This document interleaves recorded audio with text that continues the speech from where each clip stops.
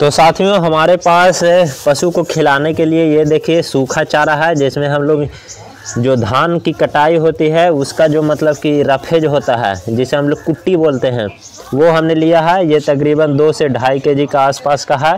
फिर हमारे पास हरे चारा में, अभी हमारे पास दुबी जो घास होती है हरी घास के रूप में अभी वो अवेलेबल है। इसके कुछ दिनों के बाद हमारे पास बरसीम भी अवेलेबल हो जाएगा। और ये देखिए, इसमें हमने सरसों का खल डाला है। सरसों का खल जब अच्छे तरीके से फूल जाएगा तो हम इसमें डालेंगे तो वो भी रेडी है। और दाना में हमारे पास ये देखिए,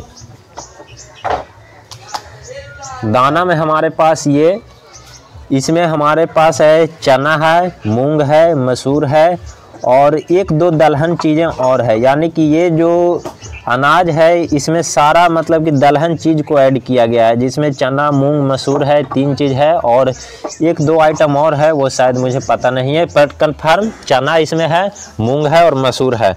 और भी हमारे पास जो दाना है, वो हम आपको दिखाएँगे। देखिए, दलहन वाला जो अनाज था, वो हमने इसमें डाल दिया है और अब हम इसमें मिक्स करने जा रहे हैं चोकर। ये चोकर तकरीबन हम इसमें 300 साढ़े तीन सौ के आसपास में हमने चोकर डाल दिया है। ये देखिए, चोकर की क्वालिटी अच्छी होनी चाहिए साथियों, आप अच्छे कंपनी का ही चोकर उपयोग में करें।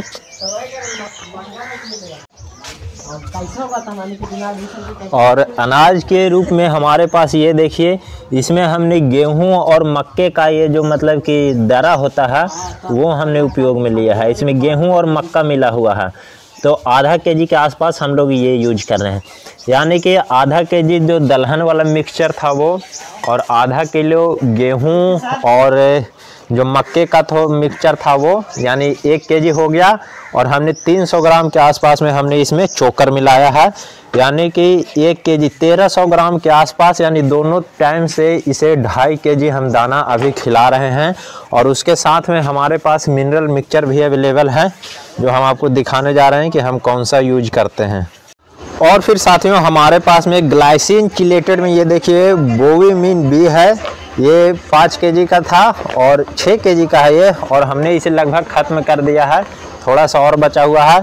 तो 20 ग्राम इसको ये बोविन भी, जो कि मिनरल मिक्सचर आती है, उसे भी हम डालेंगे इसमें।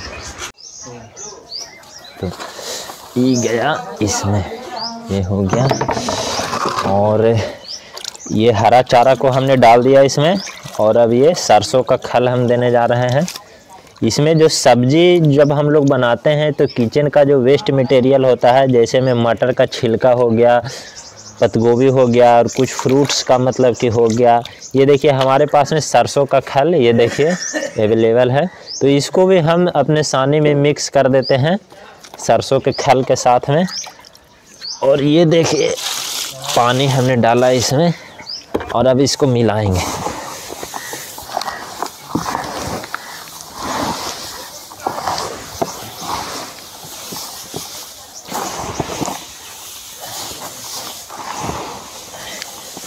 एक बार में ये गाय पूरे इस सानी के प्रकरण को एक बार में ये खा जाएगी। हालाँकि दिखने में ये छोटी गाय है बट ये खाना बहुत ज़्यादा खाती है, क्योंकि इसका पेट भी बड़ा है।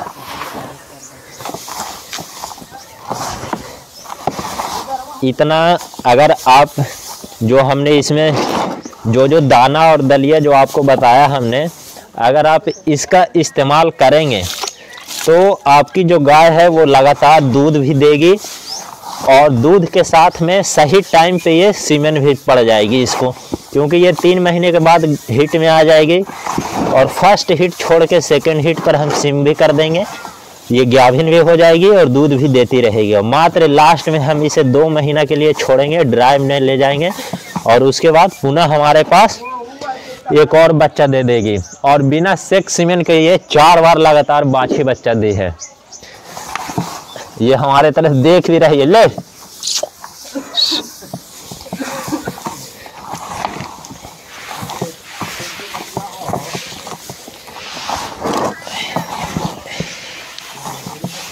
अभी ठंड का मौसम है, इसीलिए हम लोग ज़्यादा इसमें पानी नहीं डाल रहे हैं सूखा सूखा ही खिला रहे हैं। क्योंकि जब ज़्यादा पानी का अंश इसमें जाएगा तो पशु पेशाब ज़्यादा करते हैं।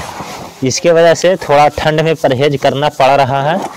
नहीं तो ये इसमें हम एक्स्ट्रा पानी डालेंगे ऊपर से 20 लीटर गर्मी के टाइम में और वो बिल्कुल भैंस की तरह मुँह डुबा डुबा कर खाएँगे। तो ये देखिए, पूरी तरीके से हो गया है रेडी और अब हम इसे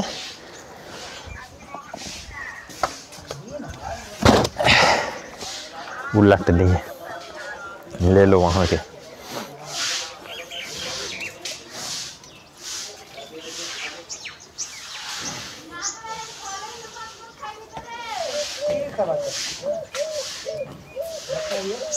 यहाँ